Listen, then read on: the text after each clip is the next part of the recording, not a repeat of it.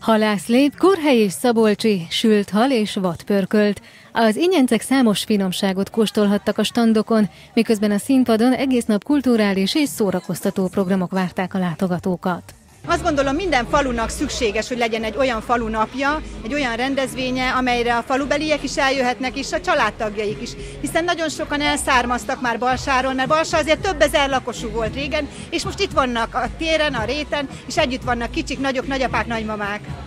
A Szabolcsi Halászati Kft. minden évben fő támogatója a balsai rendezvénynek, céljuk a hazai hal népszerűsítése. Szeretik az emberek, a balsai emberek is, meg akik eljönnek ide, mindannyian szeretik, hiszen ugye elég sokat főzünk, mert 4-500 liter halászlét főzünk, és ugye egy litert azt nem is igen szokott egy ember megenni, tehát akkor elképzelhető, hogy 800 adag is elmegy belőle, és minden évben elmegy, tehát feltetően szeretik.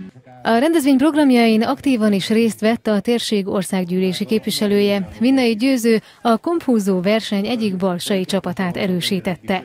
A politikus szerint a Hal és Vadfesztivál amellett, hogy igazi gasztronómiai élményt nyújt a látogatóknak, a turisztika és közösségépítés szempontjából is nagy jelentőséggel bír a térségben valódi közösségépítés folyik a településen, hiszen ekkor nagyon sokan találkoznak, akik hétköznapokon nem találkoznak, vagy innen elszármazottak ö, is eljönnek, vagy akiknek itt van nyaralójuk, kis házuk, azok is eljönnek. Több ilyen embert ismerek, aki Nyíregyházáról, vagy akár távolabbról is eljön. Tehát valójában egy közösségépítő rendezvény ez a mai, ö, és most, most halljuk azt is, hogy a nyugdíjasok műsora, óvodások nyugdíjasok műsora, hogy megmutathatja magát minden generáció.